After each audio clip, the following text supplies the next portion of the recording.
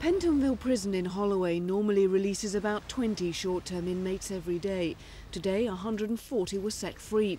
They're the first batch of the 3,500 releases over the next few weeks from across the country in the Home Office bid to ease the desperate overcrowding in prison cells. I don't think it'll happen at all because we're treated like animals in our, uh, you know. Two people in a cell, but there's about 60 people in the one landing sharing the one toilet. The prisons are packed out. Uh, you know, the, the, officers are working they're under strain, plus the prisoners are under tension strain through being in, in sanitary conditions, really.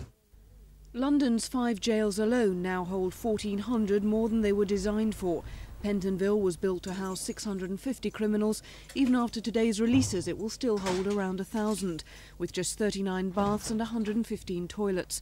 Most of the inmates are serving sentences under 12 months for offences such as petty theft or minor assault.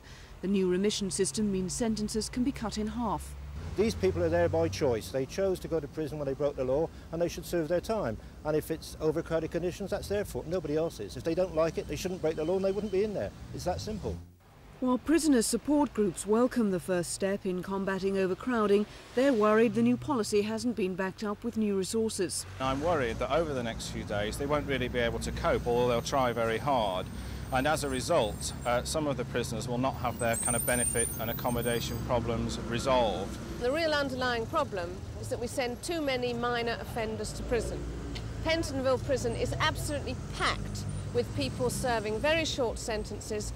Many of them are in prison because nobody else will take them in and look after them. Many of them are in prison for very minor offences for which they could just as well be doing community service or some other penalty.